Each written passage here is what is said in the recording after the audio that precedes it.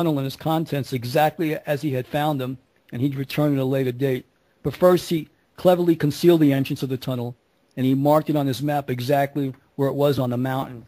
So, answer to your, your question, Tom, he told the group that after six weeks of uh, meetings that they would leave on June 19th at 1 p.m. to go to Mount Shasta to uh, to dig out these treasures, and that there were three caves in total, and in two of the other caves, he for the people that would come with him to help catalog the items, he would then make available what were in those two other caves for them. So these people sold sold their possessions. They all were on the bandwagon to go up to uh, to Mount Shasta with him. 80 people waited that morning uh, on June 19, 1934, for, for uh, J.C. Brown at the designated time. Uh, he didn't show up. People waited all day. They waited all night. Finally, the following day, they called the Stockton police, and they did an investigation. But no, no trace of J.C. Brown could be found. He just completely disappeared. The 80 people who waited in vain for him told the police that they believed in the authenticity of his story and they believed in the, the existence of the vast tunnel in Mount Shasta that was filled with go- golden artifacts. So now the police asked, well, how much money did he take from any of you? And the only thing that they could come up with is that while he was in the federal shelter, he had borrowed $5 from, from one of the men. And when they asked him why he was in the federal shelter, he said, well, if people had known I was a millionaire, you know, then they would kidnap me, you know, for my money. And I had been kidnapped once before. So here it was he was telling them, you know, hey, I'm a millionaire. I'm incognito. I'm here I, I, at my expense. I'm going to take everybody up to Mount Shasta to uh, to unearth, you know, this this great art, art, archaeological find at my expense. And then he mysteriously uh, disappears. So after reading this, I was, you know, intrigued by what I just read. I said, you know what? I, I wrote down all the clues that I had learned about the legend, and I decided to go to the New York Public Library and spend at least a month to do my own investigation and see if I could solve the 73-year-old mystery surrounding the man known only as J, known only as J.C. Brown. And you found something pretty interesting about J.C. Brown, didn't you? Oh yeah. Well, the first question that we all have, and I'm going to lay this out as you know how my mind worked. I says, okay, I've got seven or eight clues. The first question I had to ask Ramon was, was there a man named J.C. Brown? So I did some digging, and the answer was no. I w- I wasn't able to find anyone in the United States named J.C. Brown. So there, right there, I says, well, maybe this isn't going to go anywhere. So the next question I asked was, did the Lord Cowdray Mining Company exist? Was there, was there a Lord Cowdray Mining Company? So the funny thing is I went on Google when I'm at the library there, and I Googled it, and lo and behold, there was a Lord Cowdray Mining Company of England. So now I, I got my first break there. So my second question I asked uh, Ramon was, was the company named after the owner himself? Was there a Lord Cowdray, you know? And the answer was yes. So now I had to go and try to figure out, okay, well, there was a Lord Cowdray. Who is this man? You know, is this the same man who shows up in 1934? I don't know. I know uh, they said the man was in his 60s when he showed up. He said he re- retired. But the man said he had worked for the Lord Cowdray, Lord Cowdray Mining Company all of his life and, and waited till after he retired before he came up to Shasta to, uh, to seek the fortune. So the first question was I had to rule out Lord Cowdray or, you know, make him definitely the guy who uh, was J.C. Brown. But what I learned was uh, Lord Cowdray was born Weetman Dickinson Pearson, and he was born in uh, July of, of uh, July 15th of 1856 in uh, Woodhouse, Yorkshire, England. Now the interesting thing about Pearson, his family, his family uh, was uh, started. The, the company started out as an engineering company, and uh, so he was an engineer, just like the man in the legend, but he was an oil industrialist and he was the owner of this Pearson conglomerate. And so here it is. I have a man who, uh, very prominent man. He was into globalization. He built the Dover Harbor, docks in Halifax, railroads and harbors all around the world. He even built the Sennar Dam in Sudan. But in 1889, Porfirio Diaz invited him to Mexico to build a railroad from the Atlantic to, the Pacific. Now, while they were laying track there, his crew discovered one of the world's largest oil fields, the Potrero del Llano.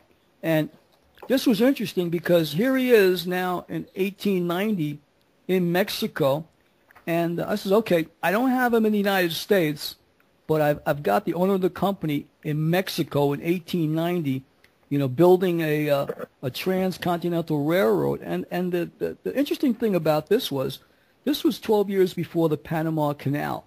So the Lord Cowdray Mining Company got the rights to build a railroad that went from the Gulf Coast of Mexico to the Pacific side. The railroad was 210 miles long, and goods were able to go from the United States to the Far East to Japan to wherever and back and forth and beat the Americans to the punch before they built the, the uh, their their Panama Canal there. So this was a major thing.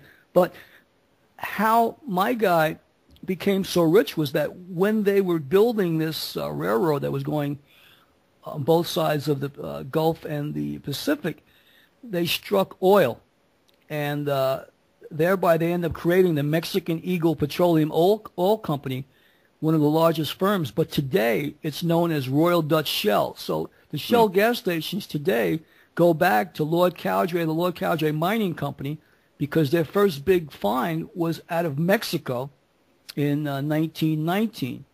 But here is the clue that got this all, the linchpin that got this all together. In 1917, I find out, Sir Weetman Pearson became officially known as the first Viscount Cowdray.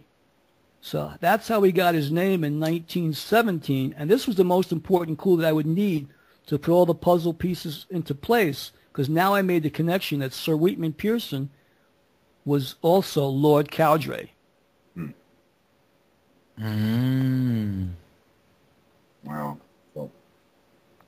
So, he, hmm. So he would keep himself um, incognito. So. Well, well no, no. That's what I first thought. But now the the next question was because that was my first question. I was right where you were, but then I go, wait a minute. Now I have to place him in 1934 at the office of the editor of the Stockton Record in 1934. So now what I had to do was get a biography to find out, okay, I know he was born in 1856. What, when did he die? Well, I found out that he died in May of 1927, seven years earlier. So now I had to turn my attention to someone else. And then I, I reread the legend all over, guys. I said, okay, I got to read this all over. I got a headache there. I go, you know what? I'm going to figure this out. But it's not the owner of the company. So when I reread the legend, it's, it, it just jumped off the page. I worked my whole life under the employ of the Lord Cowdray Mining Company. So here it is, a faithful lieutenant that I'm looking for. So now I go to the different library in, in New York and uh, the commercial library there, and I get a biography on the life of Sir Lord Cowdray. Once I got it, I learned in the book that uh, there were three other men that helped him build his empire. There were photos of, of Lord Cowdray and the three other men. I then, one by one, started looking into the backgrounds of the three other men. It was then that I learned that just as the man had claimed he had spent many years in the employ of the Lord Cowdray Mining Company of England, I was able to use that information I found in that book to link one of the four men, who was J- John Benjamin Body, being the man who appeared in the office of the editor of the Stockton Record newspaper in 1934, claiming to be J.C. Brown. So would have would have uh, Body had enough money to pay for all of this? Did well, he make he, enough money working with um? Well, yes, because what happened was when he was building, uh, as I mentioned earlier, that's why I set it up when he was building the railroad there in Mexico under Porfirio Diaz to, to build uh, the Trans-Isthmian Railroad when they struck oil, being he was the, the senior guy on that job site, he became very rich, very, very rich. Lord Cowdray made him a multimillionaire after that oil find in Mexico. So that, so those 20 years, he became a multimillionaire. So by the time he shows up in 1934, he claimed to be already worth $40 million. Lord Cowdray, his boss, when he died in 1927, he was worth over $300 million and it was, was claimed to be the richest, the sixth richest man in the world in 1927. Wow. So here it is, you know, once I ruled out the owner of the company and I found out it was one of his lieutenants, the next thing was I had to ask myself, well, he, he didn't live in the United States. He wasn't born in the United States. He's worked in Mexico all his life. How did he find the time or what brought him to Mount Shasta or the area to search if he was domiciled, working, and living in Mexico? And I put, put it up to my higher self. I said, you know, what do you think? The next day I was guided to, uh, to go back to the library.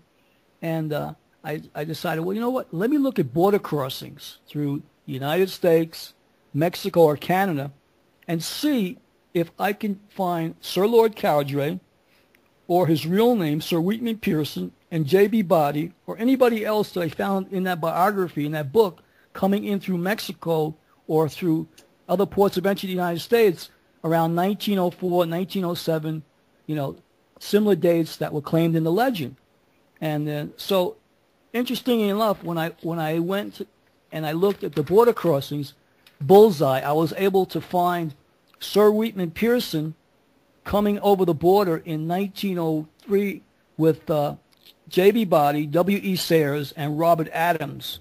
So just as in the legend that J.C. Brown claimed that he had gone up there in 1904 in March, here it is. I have a border crossing not only with him, but with his boss and two other engineers. Then I look further into border crossings. In uh, 1907, J.B. Body comes back and now he brings in three other civil engineers with him named C.M. Yeomans, John McLaughlin, Fred Kleisner, and he also brings in a fourth man, John Gill Martin, who was his personal valet. Guys, nobody brings in a personal valet with, with him unless they're a millionaire. So here it is. Yeah, I knew I had yeah. I had the guy. Now this is this now I'm sitting there and I'm looking. I says I got it. I started looking at more border crossing guys, and now I look at 1910, and this is what was funny. And this this is when I realized I was really onto something. J.B. Body lies on the manifest and says that he had never been in the United States before. Now here it is. I'm looking at 1904, 1907. Now I'm looking at 1910, and he's claiming to the U.S. Customs officer that he's never been in the United States. Now why would he do that? Hmm. Mm. So, have, did you come up with anything that places them in the Shasta area? Well, just what I'm sharing now because the Mount Shasta Resort closed down in the 30s, and uh, so uh, if the if the resort had still been open, I'd be able to probably see some sort of registrar or some sort of sign-in book to place them there. So no, I didn't have anything as far as that would go because there's no records of a building that's you know been de- demolished. All right. Here, here's my question: Is there any border entries that you can find from any of those men in 19? What was that? 1934? Well, 1934 is when he shows up in Stockton Record and claims that 30 years earlier he had Yeah. found these things up in Shasta. Exactly. I'm wondering if he left in a hurry because someone was beating him to it. Maybe one of the other four men. Well, interesting enough, the other the other men I checked all border crossings for these guys, and Yeah. they never came they never came back through the border. The engineers that he brought with him, because those guys worked for the Lord Cowdray Mining Company. They were loyal. I mean, C.M. Yeomans was someone who came in from Australia to work uh, specifically in Mexico. John McLaughlin was another another guy who uh, was from Utah. Fred Kleisner was somebody out of Austria. So the people he brought in there on the second time with him, the engineers, were brought in under the the, uh, the instructions of Lord Cowdray uh, himself, uh, the owner of the company. So this was something that initially was, was done between the owner and uh, JB Body together to orchestrate this or bring my guys up there and see what you guys come up with. So I mean this.